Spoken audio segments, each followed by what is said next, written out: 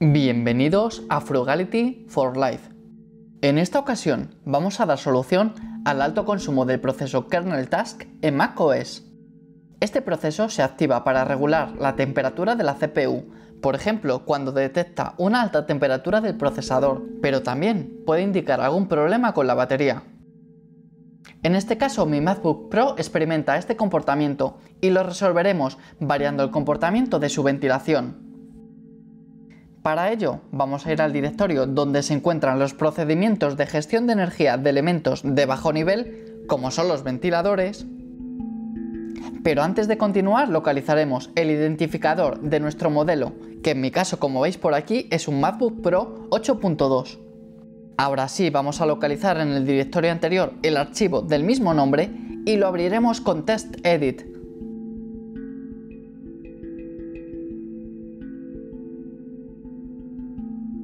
Para poder editarlo lo haremos sobre una copia, porque está bajo el usuario root y protegido con el sistema de protección de integridad de macOS.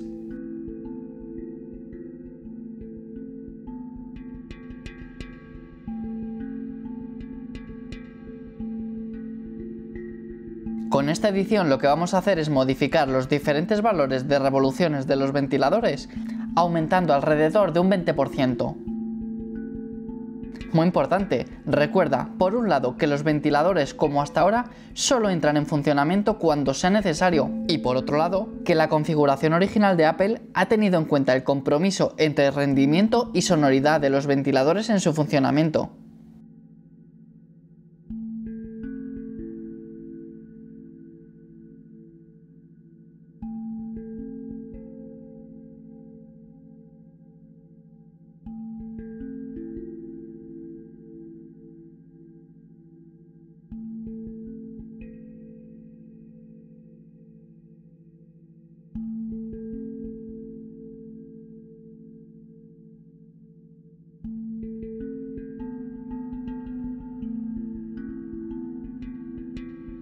La modificación que vamos a realizar de los parámetros dentro del rango de funcionamiento de los ventiladores permitirá un uso más progresivo de los ventiladores para aprovechar la máxima capacidad de tu ordenador. Y siempre podrás volver a la configuración inicial si no te convence el resultado.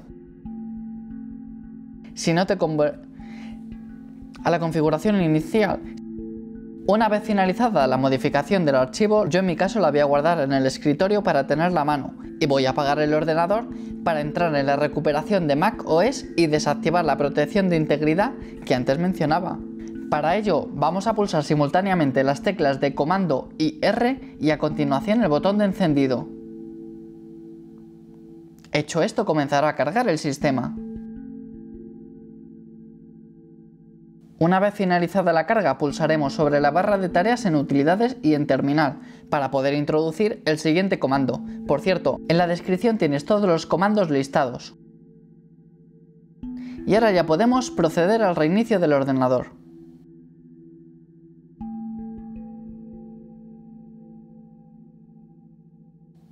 Una vez iniciado, abriremos la consola de terminal y nos identificamos con el usuario root para mover el archivo que antes modificamos a la ruta del sistema correspondiente.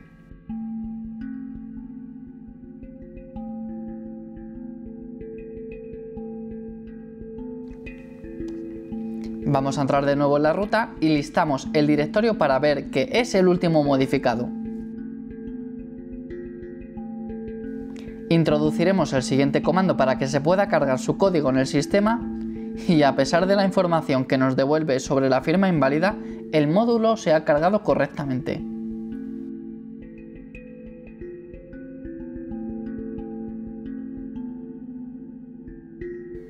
Ahora solo queda volver a activar el sistema de protección de integridad del sistema de macOS y a disfrutar de nuestro MacBook Pro.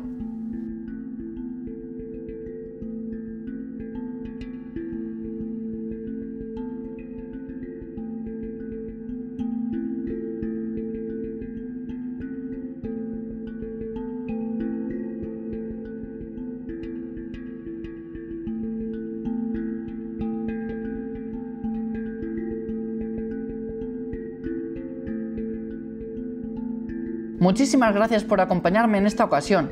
Sacar todo el rendimiento a un ordenador de 9 años es Frugality. ¿Me acompañas a hacer más grande esta comunidad? Suscríbete al canal y no te pierdas el próximo vídeo. ¡Vamos a por ello!